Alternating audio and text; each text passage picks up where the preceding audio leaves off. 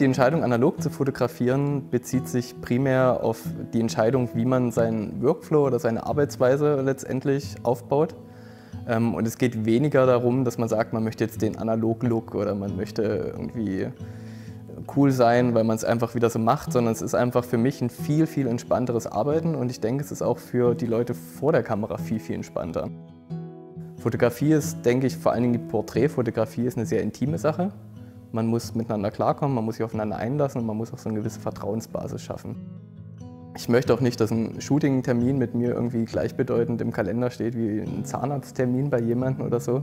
Shootings bei mir sind tatsächlich mindestens ein halber Tag und ich fotografiere auch wirklich nur eine Person am Tag, weil ich mich da schon so ein bisschen drauf einstelle und ich muss gucken, okay, wie mache ich das und ich kann dann nicht irgendwie am Mittag einen Bruch setzen und sagen, okay, alles zurück, jetzt irgendwie nächster Termin. Da sitze ich da meist irgendwie mit den Leuten so ein, zwei, manchmal drei Stunden und äh, man lernt sich so ein bisschen kennen. Man weiß so ein bisschen, okay, kann man mit demjenigen klarkommen, funktioniert das? Und da merkt man eigentlich schon, schon ganz gut, wird das was. Weil ich sage auch immer, okay, Leute, mit denen ich arbeite, das müssen auch Leute sein, mit denen ich vielleicht mal einen Cocktail trinken gehen kann oder so. Ich mache halt in einem Shooting vielleicht maximal 50 Bilder und das über einen Zeitraum von ein bis zwei Stunden. Und das gibt mir wahrscheinlich die Möglichkeit, mich wirklich mehr mit den Leuten auch auseinanderzusetzen. Also während des Shootings reden wir wirklich über, über Gott und die Welt ähm, und machen nebenbei mehr oder weniger die Bilder. Und das macht es vielleicht tatsächlich so ein, bisschen, so ein bisschen anders und so ein bisschen entspannter. Und ich bin auch wirklich der Meinung, dass in einer guten Fotografie 80 Prozent Kommunikation stehen. Viel kommt einfach davon, wie rede ich mit den Leuten, wie kann ich Emotionen rauskitzeln, wie kann ich Leute in bestimmte Stimmungen versetzen. Weil es funktioniert letztendlich nicht so, dass ich sage, okay, stell dir jetzt mal vor, du bist traurig und gib mir irgendwie einen sehnsüchtigen Blick oder so. Das klappt nicht, das klappt auch bei Schauspielern nicht, weil das ist dann immer so ein bisschen zu viel. Also in dem Bild kann man das, denke ich, ganz gut enttarnen.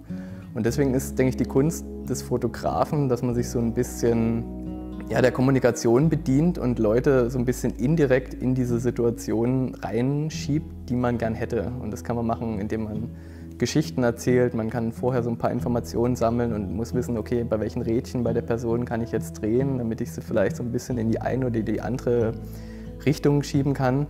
Ähm, und das ist einfach das Wichtige. Also ich denke, daher kommt äh, kommt ob es ein glaubhaftes, ehrliches, authentisches Bild ist oder ob es einfach nur ein Schnappschuss ist, bei dem ich vielleicht Glück hatte.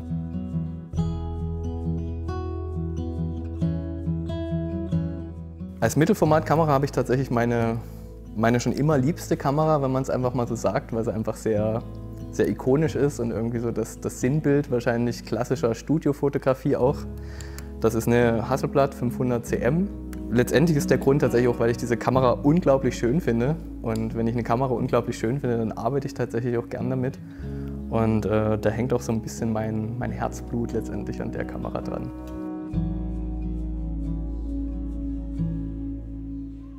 Der Zauber der Analogfotografie oder der große Vorteil ist meiner Meinung nach, dass das Ergebnis eigentlich während der Aufnahme schon entsteht.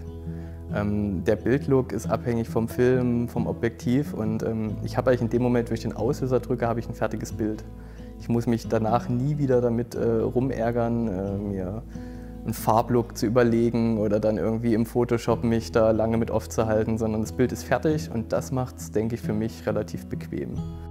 Wenn ich digital fotografiere und die Möglichkeit habe, wirklich theoretisch unendlich viele Bilder zu machen, warum sollte ich sie denn nutzen?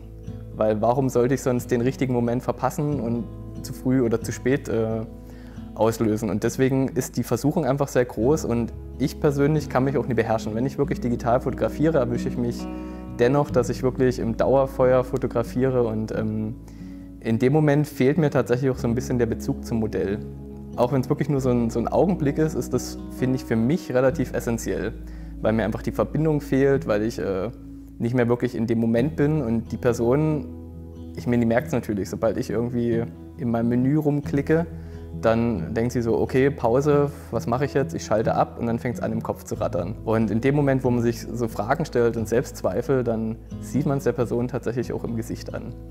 Und wenn ich analog fotografiere, ist das ein bisschen anders, weil ich mache meine Einstellungen am Anfang. Ich habe letztendlich auch nicht viele Einstellungen. Ich habe eine Blende, ich habe eine Verschlusszeit und ich habe einen Film, den ich einlege. Aber ich habe nie die Notwendigkeit, da wirklich zwischendurch nochmal Einstellungen zu ändern oder ich kann keine Bilder kontrollieren und das macht die Sache einfach so viel einfacher und so viel intimer vielleicht sogar beim Fotografieren, weil ich die ganze Zeit wirklich in Verbindung mit der Person bin und äh, nie von irgendwelchen Sachen abgelenkt wäre.